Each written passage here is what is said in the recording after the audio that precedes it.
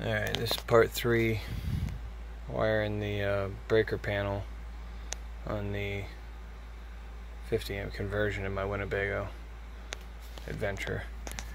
So if you look here, this is the old setup. Kind of hard to see, but um, first two breakers, if I can get it to focus. Uh, first one there was AC1 main AC2. Then it went to refrigerator, microwave, receptacles 1, 2, and 3, washer and dryer, and then the heater. Now, this is the way it's currently wired. I took the um, AC2 wire, which used to run right out of this corner here, plugged into AC2 on the 20 amp circuit.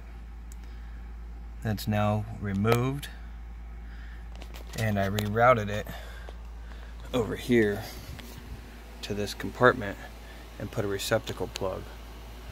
And that's because in the power compartment where you plug in at the transfer switch I put a male in so I can plug an extension cord in right there and run something inside here uh, not connected to the camper. I usually run a um, AC unit when it's parked uh, to keep the camper cool uh, while it's here in my yard and I don't want to run it through the camper electrical system. Anyway, um, so that'll be plugged into that socket there once I finish up. Uh, the new power comes in, it's the 6 gauge, you got your hot 1, hot 2, they plug into each side of the 50 amp breaker. AC1 still plugged in from right here plugs in here to AC1 the old main wire the 10 gauge wire that used to be the main power supply is now right here. This is AC2 where I've tied it together in the back. Um, that got changed. I had to remove I didn't get a good picture of it but the old neutral from the main used to run right through here this is how your EMS system reads how many amps you're drawing. So that got removed and it's now plugged in right here into an empty spot on the neutral bar. My new 6 gauge neutral now runs through there and plugs in where the old uh, 10 gauge uh, wire used to run through. So now this will read all amps drawn. Uh, ground wire comes in, plugs in right here next to the main ground for the camper. Uh, didn't change anything else there. I now have a spare breaker, which is right here, number 20.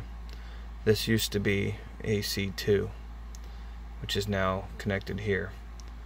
I did have a uh, vacant spot in the old setup right there, so I shifted all my breakers to the right and was able to add this double pole 50 amp breaker. But it gave me a spare breaker right here. So I'm just leaving that in the off position.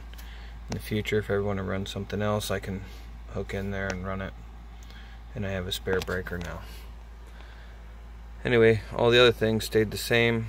I did consider reconfiguring some of the wires so I could split the load up evenly but seems to be pretty even as it is now and I'll give it a run. Also don't forget you got to remove the um, 10 gauge wire which is right here.